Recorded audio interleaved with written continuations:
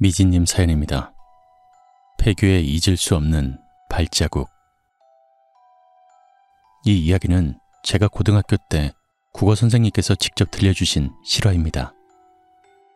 선생님 부모님의 고향은 경상북도 영양군 청기면이십니다.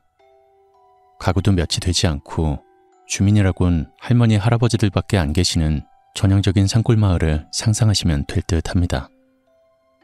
있는 거라고는 농가 바뿐인 그런 곳이지만 그 작은 마을에서도 그 폐교는 정말로 유명했다고 합니다. 일제시대 때 지어져 지금은 폐교가 된 초등학교. 2층짜리 낮고 작은 건물에 실소유주마저 방치한 건물이라 근 4, 50년간 제대로 관리가 된 적도 없습니다. 으스스한 외관 때문인지 아니면 정말로 무언가 있는 건지 마을 어르신들 사이에서는 귀신 나오는 학교로 유명하다고 합니다.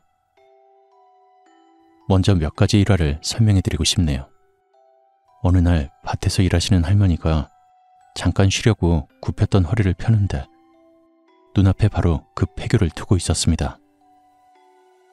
그런데 그 폐교 옥상에 웬 여자아이가 우뚝 서 있더랍니다. 바깥 폐교 사이의 거리가 꽤 있었는데도 여자아이는 이상하게도 선명하게 보였다고 합니다. 결국 그 할머니는 기절을 하셨고 다른 어르신들도 반일을 하실 때는 절대로 그쪽을 보지 않으십니다. 게다가 그 폐교의 담은 굉장히 낮아서 키 작은 할머니들도 충분히 들여다볼 수 있는 높이라고 합니다. 담 안에는 작은 연못이 하나 있었는데 어떤 어르신이 밤중에 폐교 옆을 지나가는데 그 담 위에 남자애가 올라가 있는 모습을 보셨다고 합니다. 그래서 누구네 집 애인가 하고 뚫어지게 쳐다봤더니 그 남자애가 갑자기 깔깔깔 크게 웃으며 연못 속으로 풍덩 빠졌습니다.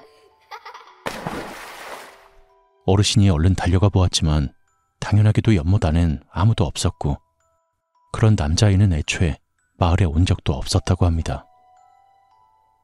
서론이 길었네요. 여하튼 저런 기묘한 일들이 빈번히 일어나는 곳이랍니다. 자, 각설하고 이제부터 선생님이 직접 겪으신 이야기를 하겠습니다. 약 23년 전쯤 선생님이 고등학교 때 일입니다. 그 당시 선생님의 할아버지께서 폐암 말기셨다고 합니다. 그 외 늙으신 분들은 당신이 죽을 때를 아신다고 할까요? 어느 날 선생님의 집에도 할아버지의 전화가 왔습니다. 할아버지가 선생님을 너무 보고 싶어 하시니 언제 한번 오라고. 참고로 선생님은 외동 아들이셨습니다. 그때가 여름방학이었습니다. 선생님이 부모님과 함께 그 마을에 도착해 보니 이미 다른 친척 어르신들도 많이 와 계셨다고 합니다. 시골이라 TV도 없고 컴퓨터도 없어서 고등학생이었던 선생님은 많이 심심하셨다고 합니다. 그런데 때마침 사촌 여동생 두 명이 도착했습니다.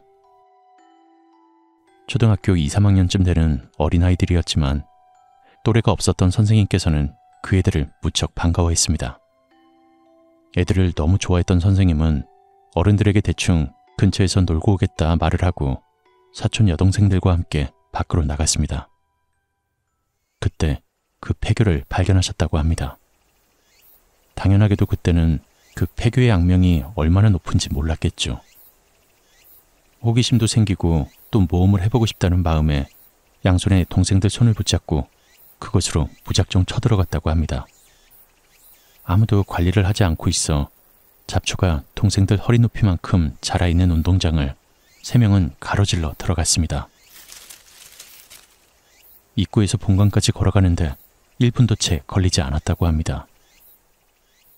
외관은 아주 으스스한 모습이었습니다.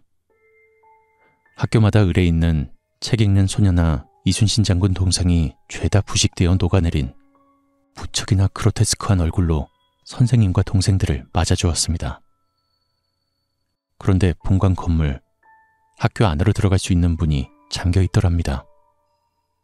굵은 쇠사슬과 자물쇠에는 붉은 녹이 쓸어 있었고, 당연하게도 그걸 열 수 있는 방법은 없었습니다.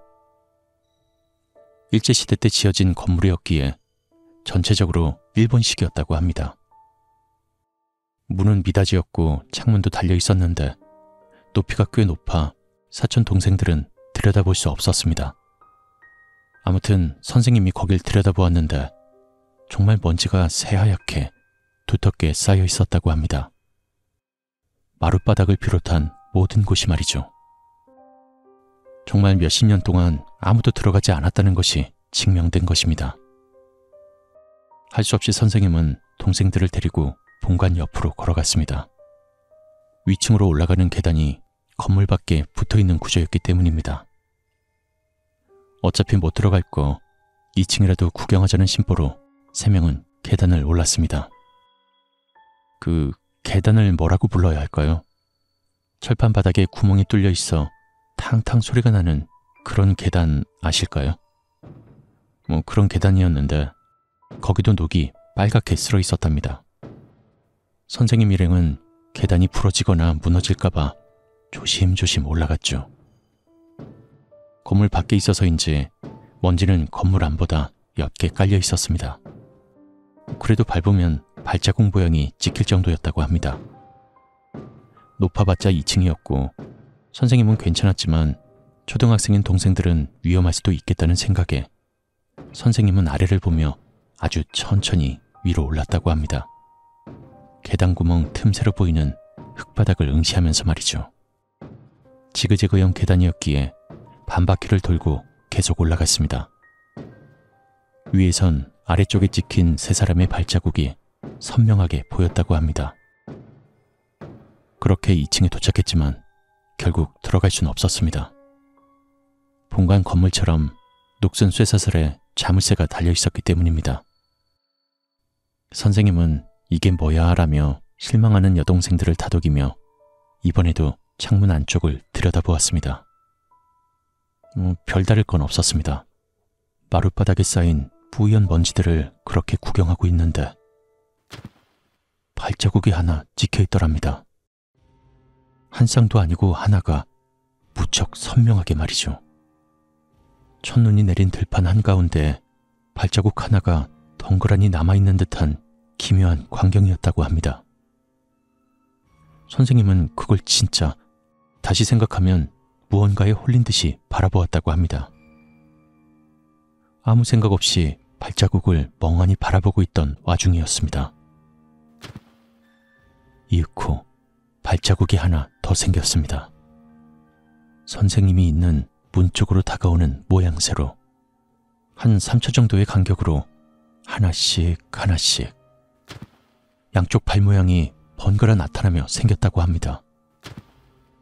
그런데 그 소름 끼치는 상황 속에서도 정말 희한하게 아무 생각도 안 들더랍니다. 그냥, 아, 발자국이 찍히는구나. 누가 이쪽으로 오고 있나 보구나. 하는 생각이요. 그러는 동안 발자국이 거의 문 앞까지 도달했다고 합니다. 한 두어 개쯤 더 찍혔을까. 선생님은 갑자기 여동생들이 칭얼거리는 소리가 들리더랍니다. 그제 선생님은 정신을 차리고 아이들 쪽을 바라봤죠. 왜 그래? 라면서. 그랬더니 동생들이 하는 말이 오빠가 손을 너무 세게 잡아. 라더랍니다. 선생님은 그때야 버뜩 정신이 들며 깨달았다고 합니다.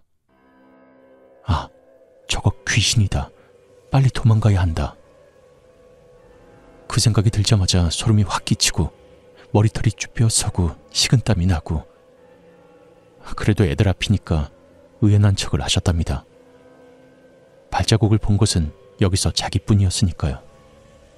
허둥지둥하지 않고 올라올 때처럼 계단 아래를 바라보며 조심조심 내려오기 시작했답니다. 제가 아까 말씀드렸죠. 지그재그형 계단이었다고. 그래서 아래 계단에 찍힌 발자국이 보였었다고 말입니다. 그런데 보이지 않더랍니다. 분명 이 계단을 밟고 올라왔는데, 불과 몇 분 전이었는데, 왜 내 발자국이 보이지 않지? 왜 동생들 발자국도 없지? 그 사이에 먼지가 더 쌓였을 리도 없지 않습니까? 그래서 내려오는 발자국은 제대로 찍히고 있나 뒤를 돌아보았는데 하나, 둘, 셋, 넷. 발자국은 네 쌍이었습니다. 결국 진짜로 놀란 선생님은 양 옆구리에 여동생들을 한 명씩 끼고 냅다 달렸다고 합니다. 계단도 우당탕탕 뛰어내려오고 교문 앞까지 전력 질주를 했다고 하더군요. 드디어 학교를 벗어나고 동생들을 내려놓고 숨을 고르고 있는데 동생들 중 하나이가 선생님이 귀에다 대고 이렇게 속삭였다고 합니다. 오빠, 오늘 본 거 아무한테도 이야기하지 마. 약속. 돌이켜보면 참 이상한 말이었지만 그때는 그냥 아, 그렇구나 하는 느낌이 들었다고 합니다. 조금 전 2층에서 발자국을 처음 보았을 때 아, 발자국이구나 하는 느낌이랑 비슷한 기분이었답니다. 그래서 선생님은 알겠어 라고 대답하고 집으로 터덜터덜 돌아왔다고 합니다. 집에 돌아오니 난리가 나 있었답니다. 너희 어딜 다녀왔느냐고, 우리가 얼마나 찾았는지 아느냐고, 그동안 온 가족이 마을을 뒤지고 다녔다는 말이었습니다. 그래서 그냥 저기 학교에 다녀왔다고 하니까 미쳤냐고, 거기가 어디라고 애들을 데리고 다녀왔느냐고 선생님은 엄청 혼나셨습니다.